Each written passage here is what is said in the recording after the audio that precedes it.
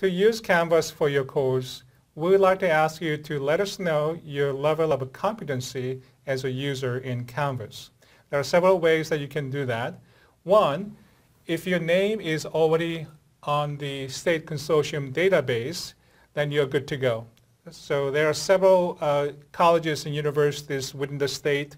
Uh, we create a list of uh, learning objectives. So the training is based on that. So if you have gone through that training and certified, you're good to go. Second option is taking training. So we have both online as well as on-campus training. The online training starts at any time of your wish and then you can complete at any time as well. So we have uh, on-campus training several times throughout the quarter.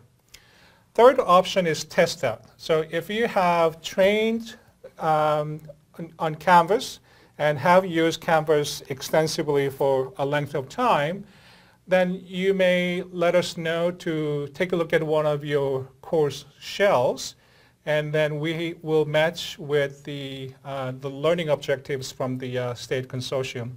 So if everything's uh, matched, then you are good to go. And the fourth option is uh, temporary access. Uh, it's primarily used by new uh, instructors who get hired at the last minute so that uh, they would not have time to get the training in time.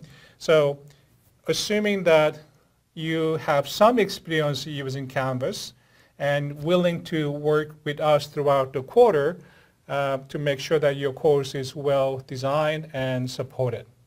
So when you're ready, just let us know. You can email us at instruct design at Seattle Central, Seattle Colleges edu. Okay, thank you. See you later.